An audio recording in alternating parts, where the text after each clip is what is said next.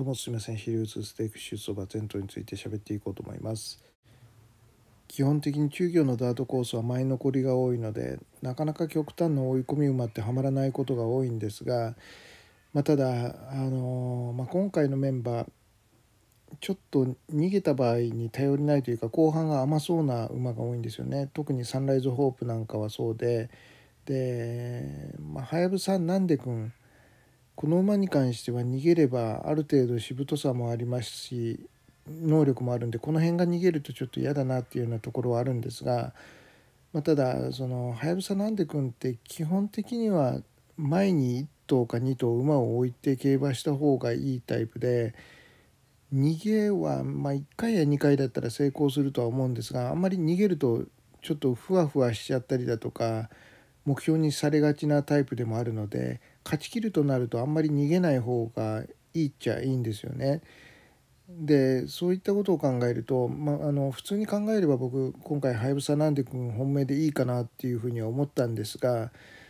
まあ、そういったような先行馬たちはちょっと頼りないところがあったりだとかあとはちょっと気難しくて早めに気持ちが切れそうな馬が多くて、まあ、その分あの中途半端なポジション取った馬たちがなんかごちゃごちゃっとしそうな気もするんで、まあ、そのイメージでいくとあのー、まあ、ある程度その馬群から離れた競馬をするというか馬群を無視するような競馬ができる極端なタイプのハセドンみたいな追い込んで外から一気に来るっていうようなタイプの方がもしかしたら3着以上とか狙うということに関してはハマる可能性あるかなと思っていて、まあ、もちろん先行馬が1頭2頭残る可能性はあるんですがその中でも追い込める馬を選ぶということになった中でハセドンっていうような感じになりました。まあ、ただあのハピとかの方が比較的器用なタイプで、まあ、もうちょっと前のポジションからだと桜アリュールとかも馬群の中から差し追い込んでくることもできるんで、まあ、この辺迷ったんですがハセドンっていう馬は加速がついてからの素足に関しては現役トップクラスなんですよね。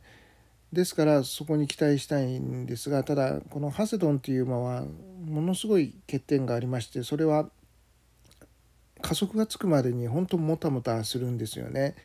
ですから前走のユニコーンステークスなんかでも最後は伸びてきてるんだけれども直線の入り口でだいぶ置かれてしまったっていうところで全く届かないっていうような感じになったので、まあ、今回もそういうパターンもありえるかなっていうこともしくはあのもたもたしてるうちに他の馬に外からかぶされたりなんかしたら競馬が終わる可能性もありますしそういったような不安定はあります。それでは右の方から1頭ずついきます。テルマルーブルデルマ・ルーブルは、まあ、どちらかというと2歳3歳の早い段階で活躍した馬なんですけれども、まあ、馬体面に関してはちょっとあの力強さ出てきたりなんかして、まあ、それでもうちょっと走ってもいいんですがなんか気持ちがついていかなかったりだとかあとは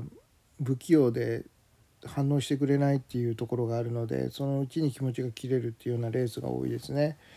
はやぶさなんでくんはやぶさなんでくんはこの馬はですねまあ本当にスピードとパワーのバランスが良くて、まあ、それで抜け出しても長く足が使えるっていうようなそういったようないいところがあるんですけれども、まあ、ただあのこの馬に関してはちょっとその動きが大きいところがあって例えば追い込み馬でこれぐらいフットワークが大きければそこまで気にしなくていいんですけれども先行馬で動きが大きいっていうところがあるんで例えば本当にタイトな感じになってゼロからスッと抜け出さなきゃいけないようなそういったような形になると厳しいところがあるんですよね。要するに4コーナー前後スムーズに進路が空いてスムーズに加速できるかっていうようなタイプなのでその形にはまれば文句なし自分のいい競馬できるとは思うのでその形になれば強いかなっていうところで本命にしてみるのも全然ありかなっていうようなところはあるんですが、まあ、ただ逃げ馬や先行馬が引っ張ってくれないとごちゃごちゃっとする可能性があるんですよね。それが心配ですし、まあ、やっぱりあのスムーズにいくかっていうところですね。ままあ、そういった中でもちょっと今回両馬場でやれそうなのでどちらかというと足抜きのいいダートよりもパサパサのダートの方が合うタイプだと思うのでその点に関しては走りやすいとは思いますし、まあ、基本的にはここのメンバーの中で本命選ぶとしたら最後に悩む23頭には入る馬ということですね。オーベルニューオーベルニューはですねこの馬に関しては、まあ、結構走ってきてますんで知ってる人多いとは思うんですが左回り専門に近いんですね左回りをものすごく得意としてますしあとはプラスアルファとして足抜きのいいダートだったら最高なんですよね。で今回は左回りでいいコースなんだけれども両馬場なんで足抜きのいいダートではないのでその辺に関しては少しベストまではいかないかなというような感じではあるんですがまあただ、まあ、条件としてはかなりいいので普通だったら本命候補思い印っていうところなんですがちょっとですねこのままもうだんだんとそのずぶさが出てきてですね気持ちも切れやすくなってきてるかなというようなところがあるんでポジションが悪くなるとしんどいと思うんですよね。まあ、ですからその点を考慮してスタート直後から意識的に出していくっていうこともしくは少し下げたとしてもばらけて動きやすいようなポジション取れればいいんですけれども、まあ、本当にごちゃごちゃっとした馬群の中段とか後ろの方になってしまうとちょっと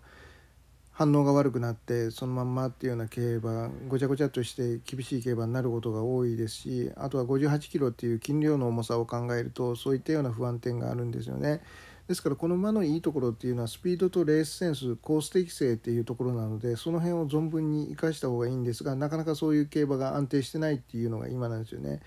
でもそういった中でも追い切りの動きなんかは、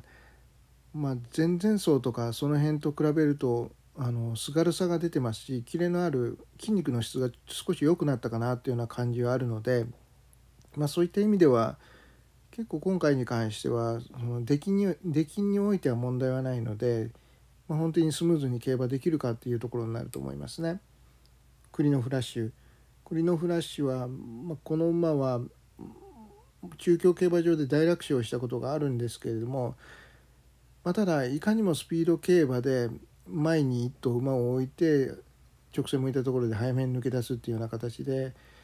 まあ、そういうはまり方もしたかなっていうようなところなんですよね。でこの馬ちょっとその気象的に前向きなところがある割には気難しくて走るのをやめちゃいそうな感じもあるタイプなんではまった時はいいんですけれども全然ダメな時は全然ダメっていうような癖馬っていうような感じなんですね。まあ、ただ池添騎手はそういう癖馬に関しては比較的相性いいタイプのジョッキーなんでまあコンビとしても悪くはないんで注意は必要かもしれないんですが、まあ、ただ追い切りの動きなんか見ててもちょっとその何というか動きに安定感がないというか体幹がしっかりしてないというかですね、まあ、力の使いどころのバランスが悪くて、まあ、やっぱりここ急車力がないので、まあ、ちょっとその最後の方なんかやたらと体を使っちゃってるというか体を使いすぎちゃってるような感じなんですよね。あの全身をうまく使ってるっていうような感じではなくて苦しくなって体の動きが大きくなってるような体を体全体を使わざるを得なくなってるような感じなので、まあ、そういった意味でのその余裕のなさっていうところ動きの余裕のなさっていうところが気になりますんで最後まで足が持つのかっていうような不安はありますね。サンライズホープサンライズホープはまあ、この馬は結構この中京コースでも構想してきた馬ですし重賞でも実績があるんですけれども、まあ、ただここも急車力がないんで、まあ、追い切りの動きなんか見ててもちょっと後ろに頼っちゃってるんですよね。まあ、その分あのー、まあ、一瞬は伸びるんだけれども長く足が使えないというか体をもっと使えないと安定して後半まとめきれないっていうところがあってまあ、あの見ても分かる通り最追い切りなんかでも最初は伸びてるんだけれども最後の方は後ろに頼っちゃっててバランスが良くないっていうところがあるんで、まあ、そう考えると今回も止まる可能性が高いかなっていうふうに見てます。まあ、ただ、あのこの馬が逃げたりだとか自分から作る形ではなくて前に馬を置く形になった場合前に馬がいるとですねその分フットワークが加減できたりはするのでまあ、何かあの一緒に走ってくれるような合わせ馬みたいな感じで目標になってくれるような馬がいれば足が続く可能性はあるのでそうなってくると少しはいいところ出る可能性あると思いますね。栗のドラゴン栗のドラゴンは、まあ、武豊騎手がうまく乗ってきたっていうのもあるんですけれどもただあの前走なんか見てても結構早めに外から仕掛けていってるんですよね。で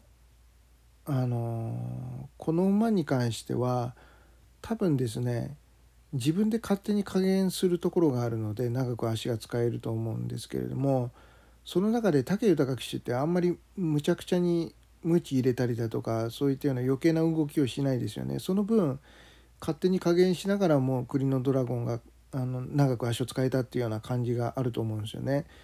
で今回の藤岡浩太騎手は結構そのガンガン追おうとするというかですね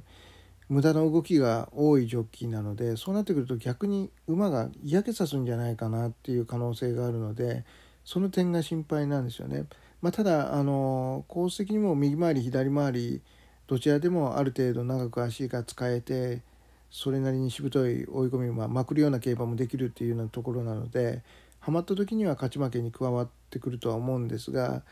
まあのまあ、どちらかというと例えばあの今村聖奈騎手とか武豊騎手に近いようなそういったようなあの無理をしないような乗り方をするジョッキーの方が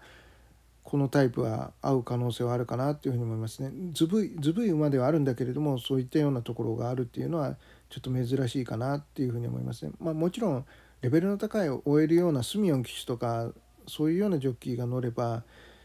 まあ、あのガンガン動かす形でもいいとは思うんですが藤岡浩太騎手は、まあ、以前はある程度終えたんですが今は、まあ、あんまり動かせなくなってますのでただジタバタしてるだけになる可能性はあると思いますね。エブリワンブラックエブリワンブラックは、まあ、この血統は結構足先にガッと力が入る馬が多いんですけれどもただあのまあその気分よく走らせすぎると体をうまく使えないような馬なんかも多かったりなんかしてそうなってくるとためが効かなくなっていく可能性がある血統でもあるんですよね。で、まあ、今のエブリワンブラックは結構その足に頼っちゃってるような感じもあるのでその分なんかワンペースになってしまってるというかあんまりためが効いてないような感じがあるんで。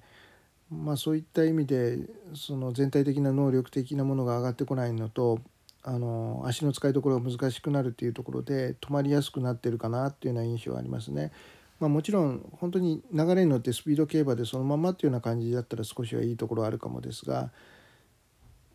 ハピーハピーはまあ本当に品のある馬体してて素質馬なんですけれども、まあ、ただ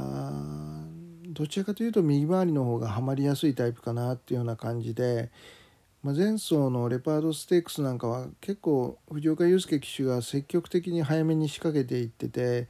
まあ、なんとか、あのー、苦しい展開の中で持ってきたっていうような感じなんですよね。で左回りだとちょっとためたにしてもそこまで切れる足が使えないイメージがあるので、まあ、ある程度いい足はあるんではまれば、あのー、十分な末足なんですが。自力だけで差し込むだけの切れる足がないっていうところがこの馬の欠点かなっていうふうに思いますね。まあ、ただ筋量軽いですし前の馬たちがそのもたもたしてくれてたらそうなってくると追い込んだりまくったりもできたりはすると思いますねいいんですがちょっと横山典弘騎手はあのまあ、本当にベテランの中でも技術的な衰えっていうのは小さかったんですけれどもただここ半年ぐらいですかね、まあ、ちょっと息子たちが横山武史騎手や横山和夫騎手たちが頑張ってる中でどんどんもう自分は隠居みたいな感じでなんかモチベーションが下がってるなっていうような感じがあるんですよね。ですからあの1年前と比べてそのここぞという時の騎乗に関してもうまさがあんまり見えなくなってきてますしもちろん今でも技術的なレベルはある程度のものはあるんですけれどもちょっとそのギャンブル性の高さっていうところですね。まああの以前で言うとやるやらずみたいな感じがあったと思うんですがそれに近いというか純ライトボルト。純ライトボルトはまあダートに転身してから思ってた以上にダート適性ありますね。で、まあ、馬体なんかもですねパワフルで両馬場も得意な方かなっていうふうに思いますんで、まあ、能力自体はですねかなりここでも上位仕事には入るっていうそういったようなあの単純な能力でいくと普通に注目が必要なんですがただあのこのタイプだと馬群の中から器用に立ち回れればいいんですがなんか馬群の中あんまり入れてないなっていうところ。で今までは外回してて今までは相手関係とかいろいろあって外回っても全然問題なかったんですけれどもやっぱり他にも強い馬が出てくる中でそういった中で今までのような外を回るだけの競馬してたら、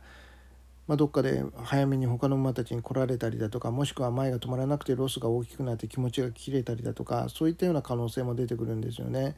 でこの石川ジョッキーも全然進歩がないもう下の方から数えた方がいい技術でもありますし、まあ、そう考えるとどうかなと思うんですが、まあ、ただ、あのとにかく多少ならロスがあっても問題ないですし気分よく自分マイペースで走れれば最後じりじり伸びて、まあ、能力の高さを見せる馬ではあるので、まあ、流れに乗れれば普通に強い馬かなっていうふうに思いますね。エイコーンエイコーンは、まあ、ちょっと以前と比べて筋肉の質が落ちてギアが上がらないなというような印象がありますね。で気持ちも切れやすいのでどうかなっていうふうに思いますね。サクラアリュールサクラアリュールは、まあ、この馬も本命迷いましたね。あのー、1年前とかだと、まあ、徐々に力はつけてきてるんだけれどもまだ華奢なイメージがあったり、あのー、気象的な若さもあったんですが、まあ、ここに来て本当に馬体面厚みが出てパワフルあとは心身ともに成長してるなっていうような感じがあるんですよね。でこの馬に関しては馬群に入っても問題ないですしまあ末足はまあ自力だけで差し込むほどの切れる足はないにしてもそれなりにじりじりといい足がありますし、まあ、立ち回りがはまれば結構期待できる馬かなとは思うんですが、まあ、ただ、まあ、ちょっとそのスタート直後ですね前半の部分がずぶくて置かれがちなんですよね。前半の部分でちょっと気分よく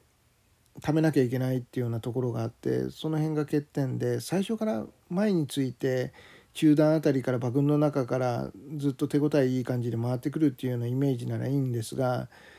スタート直後前半部分はずぶさ出して後方からゆったりいかなきゃいけないであの後半は反応いいんだけれどもそうなってくると元のポジションが悪いんでどうさばくかっていうようなそういったような欠点があるのでそこなんですよね。まあ、ただあの後半に関しては比較的乗りやすいというかあのいろんな進路が取れるっていうのは強みですのでそういった意味ではいいですし岩戸未来騎手も左回り得意としているジョッキーでもあるので、まあ、結構面白いとは思いますね。バーデンバイラーバーデンバイラーは、まあ、地方交流重賞ではあるんですが前走重賞勝ってますね。で、まあ、そのレースはですねテリオスベル江田照男騎手が、あの意外性のある騎乗というかですねかなり早めに先頭に立ってってそのまま押し切ろうとしたような競馬で、まああいうふうに途中から動いて一気に動くような馬がいて縦長になると差し馬って競馬しにくくなるんですよね。でもそれをなんとかついてって最後差し切ったっていうのはバーデンバイラーなかなかいい競馬してるんですけれどもただ周りの馬たちがですねだいぶコーナーから反応が悪くなってて進んでいかなかったので進んでいかない馬たちをバンデンバイラーはかわせたわけですよね。やっぱり手応えの悪い馬をかわすっていうのは簡単なのでそういった意味では外を回って自分から動いてるんだけれども比較的前をかわしやすかったっていうところがあったのでその点に関してはちょっとあのそこまで高く評価はできないっていうところなんですよね。で今回のメンバーとかだと、まあ、そんなに他の馬たちが簡単に手応え悪くなってくれるかというとそうでもないでしょうし後ろから来る馬たちも何頭かいるっていうことを考えると、まあ、前走と同じイメージで乗るとしんどいんじゃないかなっていうふうに思いますんで僕は今回はある程度ポジションを積極的に取るべきかなと思いますし、まあ、ばらけるんだったらどこからでも競馬はできるタイプなんですが、まあ、意外とそのまともな正攻法な競馬をしようとしすぎるとちょっと意外と能力的には対してそこまで高い馬ではないので、まあ、やっぱりポジション取りとか仕掛けっていうところである程度カバーしなきゃいけないかなと思ってますね。ホールパンホールパンはもともと重々しくて反応が悪いような感じではあったんですが、まあ、ちょっとギアが上がらなくなってるというか気持ちも切れやすくなってますのでちょっと微妙なんじゃないかなって思います。ハセドンハスドンに関してはまあ最初に言った通りで、まあ、とにかく直線の入り口あたりで加速がつくまでにだいぶ置かれることが多くて、まあ、そこなんですよね。要するに前が止まらない展開であればあるほどきついタイプでもありますしあとは反応悪いうちに他の追い込み馬に前に入られてかぶされちゃったりなんかすればさすがにきついですしっていうところ、まあ、その辺が不安なんですが、まあ、ただ伸び始めるとですね本当にここでは一番いい足使えますし、まあ、現役でもトップクラスの末足がありますので、まあ、そういった意味での楽しみはありますしあとは前走のユニコーンステークスに関しては結果分析でも言ったんですがちょっと内目の砂がですね浅かったというか内を通った馬たちが断然有利な馬場だったんですよね。でハセドンは大外を走りまして、まあ、外はあの極端に深いとまではいかなかったんですが、まあ、ただ内と比べると深かったっていうところがあって外が伸びないような馬場の中で外から追い込んできて、まあ、最後までしっかり伸びてたんで。まあ、今回に関してはそういったような、あのー、砂圧に関しては内外の差っていうのは大きなものはないので多分ないので、まあ、そう考えると、あのー、まあ、ある程度期待できるんじゃないかなっていうのとあとは鮫島勝馬騎手はちょっと立ち回りが雑な時はあるんですけれどもただ直線を追うということに関しては若手ジョッキーの中でもかなり追える方のジョッキーにはなるので。まあ、先週重賞勝ってるっていうのもありますし、まあ、そう考えるとあの気分的にも乗ってると思いますんで、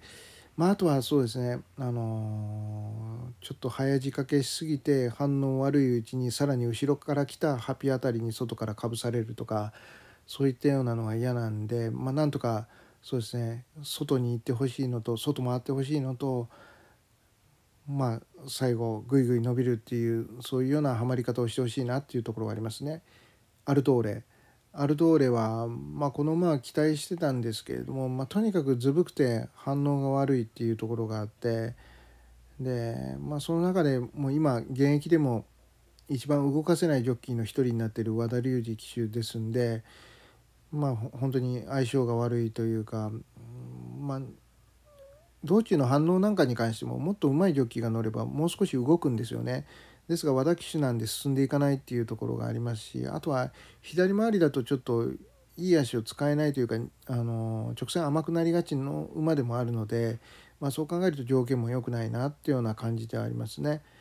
まあ、どっかで一気に動くとかまくるとかそういうのがはまれば能力はある程度ありますね。レーヌ・ブランシュレーヌ・ブランシュはこの馬はですね、まあ、今回の追い切りの動きなんかもすごくいいですしまあ、馬体面なんかもある程度いい馬なんですけれどもただこの馬ですね多分あんまりダートがうまくないんじゃないかなっていうふうに思いますね。まあ、ダート走ってきてるんですが、まあ、なんかあの後半甘いようなレースが多いですしあの基本的にダートがあんまりうまくない馬ってコーナーリングとか道中に関してはある程度進んでいくんだけれども直線追い出すと甘くなりがちっていうところがあってまたタイムフライヤーなんかでも説明したことあるんですけれどもタイムフライヤーコーナリングでは手応えいいんだけれども直線の瞬発力勝負になると伸びあぐねるっていうようなそういったようなレース多かったですよね。ですからあのまあそれよりももっとあのレーヌ・ブランシュ直線伸びないっていうようなレースが多いのでどうかなっていうような感じあります。ただその瞬発力をあんまり必要としない流れですね。例えば前の馬たちを目標にしてそのままなだれ込むような感じでしぶとさ生かすとかそういったような競馬はできるんで、まあ、調子はいいのであとはある程度能力はある馬なので、まあ、そういった意味ではそういうはまり方がすれば可能性としてはあるかなっていうふうに思いますね。以上です。